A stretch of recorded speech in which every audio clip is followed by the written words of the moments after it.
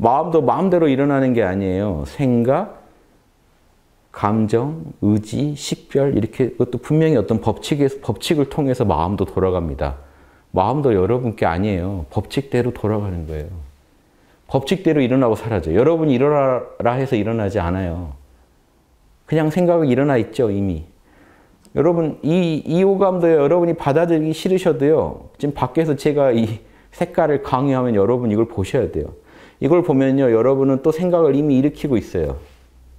이 색깔을 봤죠? 그러면 이 색깔 안에 내재된 법을 보신 거예요. 그래서 오감은요, 보세요. 오감은 눈은 색깔을, 코는 냄새를, 혀는 맛을, 몸은 촉감을, 귀는 소리를 듣지만 생각은, 마음은 뭘 대상으로 할까요? 법을요. 마음은요, 그 오감을 통해 들어온 법을 봐요. 법칙을. 그래서 여러분 이 법칙을 봤기 때문에 여러분은 이 법칙에 대해서 생각하시지 않을 수가 없어요. 검은색이네, 펜이네, 뭐네 하고 생각을 일으킵니다. 그러면서 이 생각을 하시면서 여러분 좋다 싫다 느낌이 점점 강화돼요. 뭐 본능적으로도 느낌이 일어나겠지만 그런 생각을 통해 느낌이 점점 견고해집니다. 좋아하던 대상이면 호감이었으면 더 좋아하고 비호감이었으면 되게 거부하는 감정이 일어나고 이러면서 이제 마음에요. 이 생각이 뭔가를 판단했기 때문에 이 법에 대해서 여러분 마음도 꼬리에 꼬리를 물고 계속 발생해요. 그, 그 정보를 처리하기 위해서. 이게 여러분이요. 그냥 이렇게 주어지는 거예요. 그래서 부처님이 뭘 얘기했냐면 우리 에고라는 게 견고한 물, 견고한 영혼이 있는 것 같죠. 근데 가만히 들여다보면 생각, 감정, 오감밖에 없더라는 거예요. 석가모니가 얘기한 게.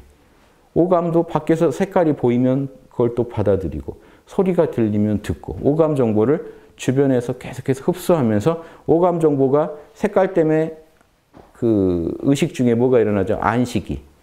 본다 하는 게 나타나고 내 마음에요. 소리가 들리면 듣는다 하는 오식 중에 이 뭐죠? 아니 이식이 나타나고 이렇게 해서 오식이요 다섯 가지 감각이 계속 주변에서 색깔 소리가 들려오면 이 여러분의 의지대로가 아니라 그냥 발생해요 메커니즘에 따라서 그래서 이놈들이 발생하면 메커니즘에 따라서 생각 감정이 같이 또 돌아가요 계속해서 그 이게 어떤 조건이 생, 조건이 조건이 갖춰지면 여러분 마음에서 일어났다 사라졌다 한단 말이에요. 생각이 일어나고 사라지고, 감정이 일어나고 사라지고, 오감이 일어나고 사라지고.